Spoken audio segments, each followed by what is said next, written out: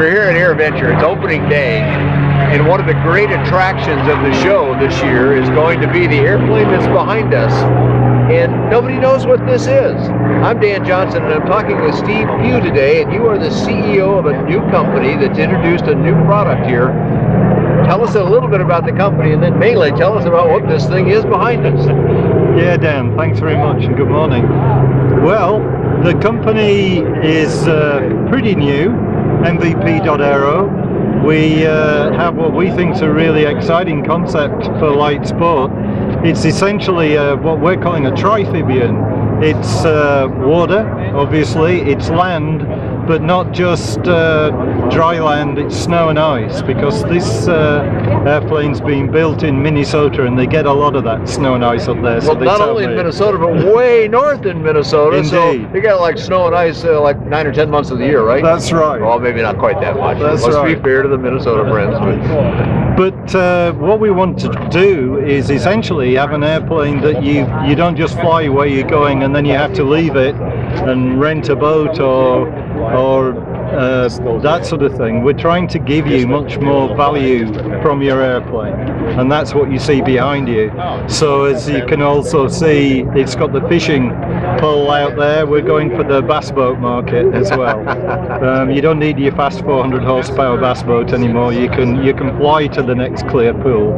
But that's the idea to make it as usable as possible. Also, the wings folding like that. We're aiming for you to be able to use a marina slip something that's uh, really difficult with an amphib very often is docking with the lower wing configuration. It can be quite difficult and you're piloting it on your own, you're trying to fend off, it's, it's a tough job and we're trying to make it as easy to do so you can fold the wings back and then uh, with a little thruster you can uh, motor back in into your slip. And now, there's a lot of stuff there, so let me Mm, interrupt you just I'm for a second sorry. to say this: that uh, in a in a in a float plane, that is in a land aircraft to which floats have been added, Mhm. you sit up much higher. So coming to a dock, which is a common way to get where you're going, Yes. the wings are way high, and it's easy to get around a dock and so Correct. forth. But in a seaplane that sits down in the water, even with high wings, those wings aren't that high.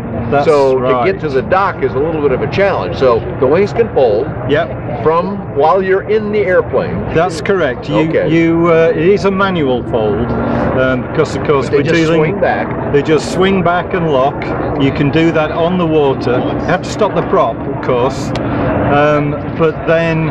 So that creates then its own problem. Okay, so you got the wings folded, you stop, the prop is not usable anymore, Correct. and you said something about a thruster. Tell us a little bit more about what that means. Well, Mike Van Staagen can tell you a lot more about it than I can, but essentially, and we know there's a weight penalty here for anything you add like that, but we're experimenting with uh, a bilge pump that also gives us thrust. Now you have to have a bilge pump Yeah. because you do get water inside the, the hull and you got to get it out of there. Yeah. So you've got to have that anyway. Yeah. And you're planning to use that as a method to propel the aircraft with the prop stops and the wing folded back into a marina slip. Yeah. That's Yeah. a pretty slick feature that I don't think I've heard in other aircraft. No, well, we're, we're trying to, as I say, come up with ways that this is more like a boat when it's on the water, as much as an airplane can be a boat on the water. But as well, what we're aiming for is the people that want to get out there and camp. So there'll also be a tent integral to the canopy.